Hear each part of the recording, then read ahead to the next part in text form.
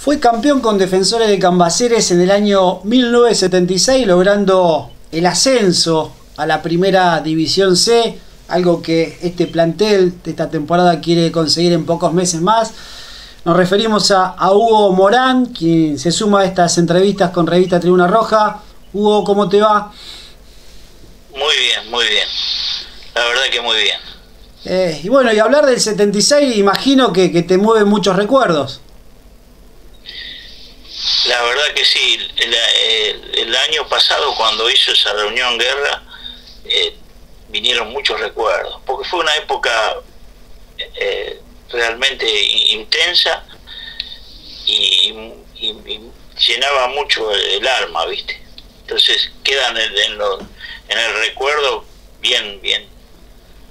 Hugo, tu, tu carrera como futbolista, ¿cómo, ¿cómo empieza? Y yo empecé en gimnasia, cuando estaba Romero, toda esa gente, en el año 50 y yo soy del 51 y después pasé a Defensores. Cuando pasó a Defensores, yo estaba con, con eh, ya a la vuelta de Giles, Barro, eh, Medich, toda esa gente ya estaba conmigo, yo jugaba con esa gente. Eh, ¿En qué año llegas a Defensores? Y eso viene a ser en el, cerca del 70. Ajá. 70 más o menos llegué a Defensor de Campaceres. Bueno, y fueron años, fueron años en la primera D donde el equipo eh, hacía buenas campañas en la rueda clasificatoria, pero no podía después en la rueda final conquistar el ascenso. Siempre por uno y otro motivo el equipo se quedaba ahí en el borde del ascenso. Sí, yo uno de los siempre al final eh, no sé qué pasaba que no podíamos pasarla viste era como este como qué sé yo como que algo que no podíamos concluir. A pesar que había gente que la verdad te estoy nombrando a Giles te estoy nombrando a Barro viste que eran la verdad que eran después vino vino Russo hubo un cambio con el Bocha Flores y pareciera como que la cosa fue un cambio bastante importante, ¿no?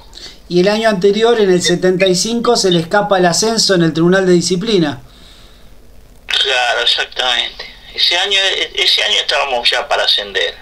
No, no era una cosa que ya era palpable que teníamos que subir, porque aparte arrasábamos a todos los equipos, no, no había equipo que...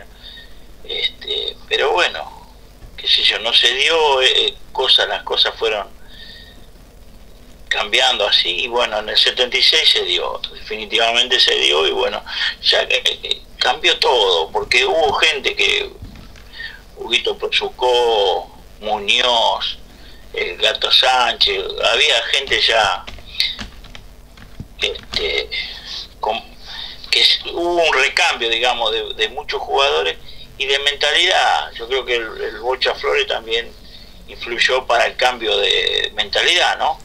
Había muchos muchos nombres de experiencia ya eh, jugando en la categoría. Sí, sí, sí, sí, muchísima experiencia, sí. El, ruso como goleador, viste, había, hubo como un cambio generacional, viste, qué sé yo.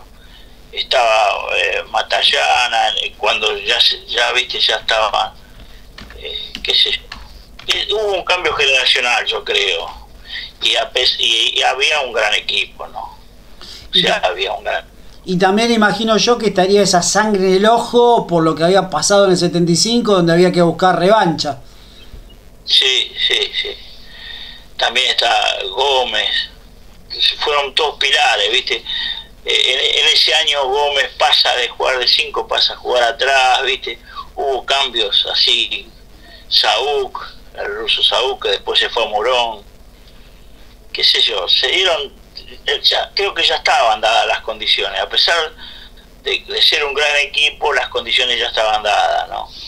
Y había otra mentalidad, yo creo que hubo un cambio de mentalidad como que ya era un hecho que nosotros teníamos que ganar, ¿no? Había... Era, era, era el gran desafío y el gran objetivo que, tenía el equipo en, ese torneo. Sí, eh, claro, sí, sí. No había otra forma, ¿eh?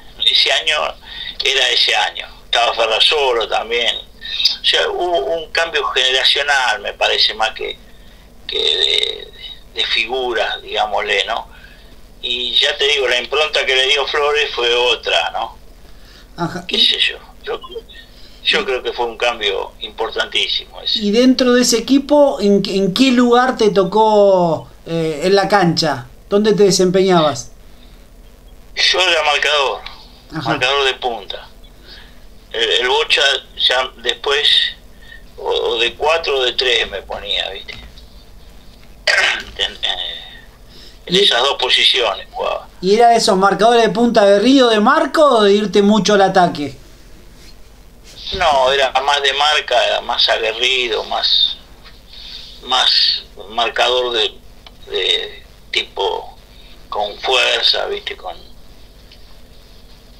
no era una cosa que me sobresalían las, las virtudes, sino más de marca. Muy bueno, estaba bien estrenado, o sea, no, nunca fui de, cederme. ¿Y, hay, hay algún partido especial de esa campaña que, que recuerdes eh, eh, por lo que viviste, por lo que fue el partido, por, por la importancia que tuvo? Hubo un partido, un partido que nosotros creo que ganamos 8 a 0 el último. contra Zacachispa. Con Cañuelas, el último. ¿Con Cañuela o, con Zacachispa era? Uno de esos, no me acuerdo bien. Sí. Que lo ganamos como 7 a 0, 8 a 0. ahí eh, ya la cosa. Ahí ya se habían caminado. sí, yo no me acuerdo, yo no me acuerdo si fue 8 a 0, creo que fue 8 a 0. Creo que era Zacachispa, no, no, o, o uno de esos equipos. Lo que pasa es que íbamos a las canchas ya prácticamente, este, y después hubo canchas difíciles, Vitoriana Arena, había canchas dificilísimas, ¿no? Muchos recuerdan ese partido con Verazategui en cancha argentino de Quilmes 3 a 3, que hubo incidentes también entre los hinchas. Sí, sí, sí. Después otro que yo salí al lado de Jiménez, el arquero de, de que también eh, tiraban de todo, hubo varias canchas que teníamos que salir porque era todo a, todo nada, ¿no? o sea, no eran canchas fáciles, eran eh, canchas demasiado difíciles. ¿Antes las canchas del ascenso eran más difíciles jugar que ahora? ¿Qué te parece? Yo creo que sí, yo creo que sí, había adentro era un, infierno y afuera ni te cuento. O sea, creo que era la de Victoriana Arena, que los hinchas, muchos terminaron en, la cancha de adentro de la comisaría, viste, todos hechos así, ¿no? O sea, eh, salían corriendo y resulta que la salida de la cancha terminaba en la puerta de la comisaría, hechos así anecdóticos, ¿no? Y después te tiraban de todo. Acá, en, en muchas canchas era difícil, muy difícil, pues te revoleaban de todo. ¿Y tenés alguna anécdota en particular que recuerdes?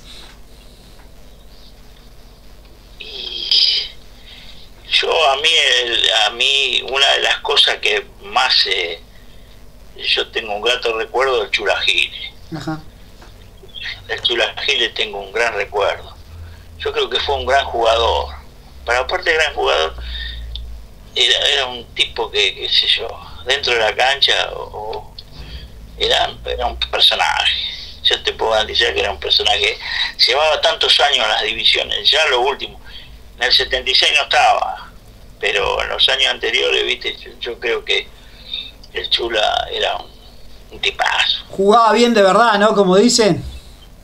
No, cuando saltaba, mira, yo muchos a veces cuentan, qué sé yo, eh, pero el Chula adentro del área era un personaje yo te puedo garantizar que era un personaje. Aparte, era un tipo que, viste, tomaba los partidos como si fuese, qué sé yo, ir a tomar un café, que viste. Con mucha naturalidad. tenía una picardía bárbara. Cuando saltaba él, o qué sé yo, viste. O, por ejemplo, se hablaban con, con Barros, qué sé yo, vos tenías que escucharlo, porque le decía así, no sé, viste, tenía ese don que era de los grandes, ¿no? Yo creo que era de los grandes. Yo creo que Marco, o sea, tenía una, una fisonomía, qué sé yo, no sé qué era el, era un ídolo, la verdad que era un ídolo. Para mí, yo lo respeté muchísimo, ¿no? Aparte, cuando yo estuve con él, él era capitán. O sea, ya... Y, y, haber, y haber ascendido con Cambaceres, ¿qué, qué significó en, tu vida, teniendo en cuenta que, que, sos ensenadense, que seguramente mucha gente te lo debe recordar, la, la gente de tu edad? Sí, mira, yo ya estoy pisando los 70. Te imaginas que la mayoría de nosotros estamos pisando los 70, ¿no? Eh, yo tuve un, tirón abajo, un problema abajo en la entrepierna que no se me curaba, ¿viste? Eh, por ahí andaba bien y por ahí hacía un, trote y, no podía correr más, ¿viste? Es, un, no se cura. Creo que la misma lesión creo que tiene Messi. Sí. Messi creo que tiene la misma lesión, ¿viste? Vos andas bien, y pero era continuo lo mío. Yo por ahí estaba bien y a los dos minutos yo no pude jugar más, ¿viste? Ya no, no, ya lo sentía. Sí. O sea, estaba lo más bien y ya corría dos pasos y ya no me podía mover más. Y eso fue que me dolió, me dolió y, y tuve que dejar porque no podía seguir. Ya no, no, no tenía un rendimiento adecuado, ¿no? Igual después del ascenso en el 76 te quedaste un año más a jugar en la primera C. Sí, sí, sí, sí. Sí, cambió, cambió muchísimo, cambió. Cambió muchísimo, ya eran otros equipos más aguerridos, más fuertes. Y cambiaba todo. Cambiaban los vestuarios, cambiaba. Viste, antes, te imaginas, antes eh, era un viaje ahora ya después las cosas iban, se iban haciendo más profesionales, ¿no? Y no podías dar espacio, por eso te digo, tuve que decidirme ya, ese tirón me marcó, nunca, nunca pude correr, o sea, pasaron el, tiempo y, siempre volvía, no sé, era como es, nunca, nunca tampoco me lo traté bien de, como para, pero sé que no se, no se volvía. ¿viste? ¿Y después de Cambaceres dejaste de jugar al fútbol? Sí, sí, sí, sí, sí, sí. Sí, sí, sí. Sí, la verdad que sí.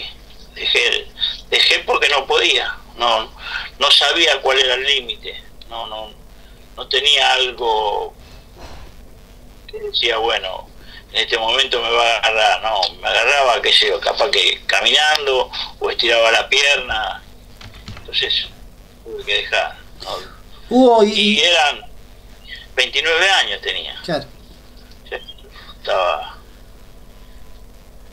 ¿Y, este, sos futbolero? ¿Sos de ir a la cancha?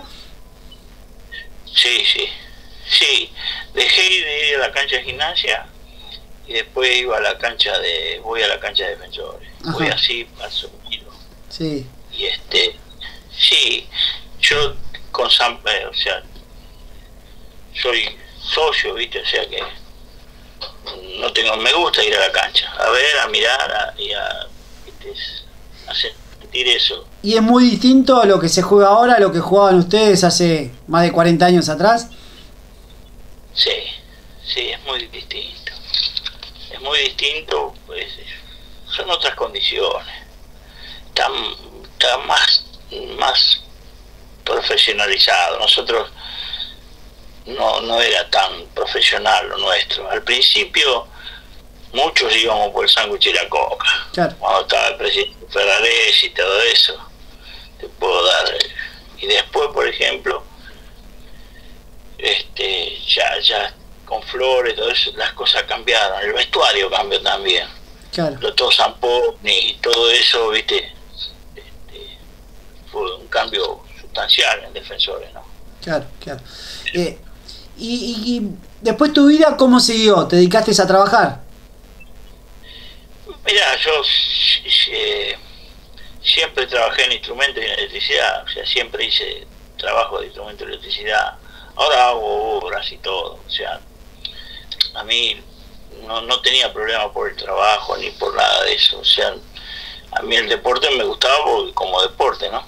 Pero seguí, seguí mi vida en eso trabajé en empresas, qué sé yo, después hice mi, poca, mi empresa propia, qué sé yo. Ya dentro de todo. ¿Y actualmente cómo llevas la pandemia? ¿Seguís estando en actividad o ya estás jubilado o haces algo? no, no, eh, estoy jubilado y sigo haciendo. No Claro. me veo todavía sentado tirándole maíz a las palomas. Claro, claro. Uno tiene, tiene que ocupar el tiempo en algo. No, yo creo que es eh, bueno uno. Yo todavía me sigo levantando temprano, ¿viste? Lo que me está costando es eh, mantener una actividad física, que me, me obliga el médico a tenerla. ¿no? Claro. Pero bueno, este, eh, estoy tratando en lo posible de, de, de empezar a hacer esa actividad física. La hago, ¿viste? Camino, salgo a caminar, qué sé yo. Pero bueno, en eso estoy, ¿viste? Me cuesta cada vez más. Tengo los límites de la edad y de alguna enfermedad, ¿viste? ¿Qué sé yo? Claro. Azúcar, las comidas y todo eso. Pero dentro de todos los años que me he cuidado, eh, me, me- me dan una... ¿Y con los compañeros de, de ese equipo del ascenso seguís teniendo relación? ¿Te encontrás con alguno? ¿Hablan por teléfono? Mira, eh, eh, Stachiotti lo veo, dos por tres lo veo así cada tanto. Eh, el Kitty Silva, no sé cómo estará ahora, hace rato que no lo veo. Sé que tenía un problema de vista, andaba medio mal. Sí. Eh, Ferrazolo, por ejemplo, lo veía, ahora hace rato que lo veo porque yo iba a caminar a donde él iba, acá sobre la 32, Sí. y hace rato que no lo veo, porque creo que no está saliendo a caminar. Eh, y de- después Muñoz lo veo cada tanto, muy a las perdidas, hace rato. Y qué sé, al negro Gómez, ahora, ahora lo vi la vez pasada. O sea, no he visto, por ejemplo, a, a, Saúl, a todo eso, no, no lo he visto. El año pasado nos juntamos varios, eh, por Sucó, el Huguito por Sucó, cuando hubo esa reunión que, que lo juntó eh, Guerra. Cuando se reunió en la cancha, sí, para los 40 años del ascenso. Exacto, exacto. Y bueno, ahí estuvimos varios, viste, que cada uno. Y gratos recuerdos. Y bueno, eh, y el año que viene eh, va a ser la excusa ideal a través del centenario para que todos se vuelvan a reunir. Yo creo que sí. Habíamos quedado que íbamos a hacer una, una comida, algo, pero después no sé en qué quedó. Después nos agarró esto, de- quedó, se ve que se enfrió todo. Claro. Pero eh, la idea era de juntarnos. O sea, es lo único que, que, que realmente es juntarnos, unirnos y charlar de, de cosas pasadas o presentes, ¿no? Es lo más importante. Tal cual. Bueno, Hugo, te agradezco por estos minutos de charla, por revivir estas viejas épocas, por ser uno de los protagonistas que has quedado en ese cuadro de honor, eh, con, haber salido campeón con Defensores de Cambacé. No son muchos los cuadros que, que han podido conquistar un ascenso. Vos tuviste la, la fortuna de ser parte de uno de ellos. eh, y bueno, eh, saber que, el club, que, que nosotros a través de la página siempre los tenemos permanentemente en el recuerdo por lo que lograron con la institución. Muchas gracias, Charla. Saludo a toda la, a toda la gente y bueno, te agradezco muchísimo. Te mando un abrazo, a cuidarse. Igualmente, igualmente, igualmente, gracias. Eh.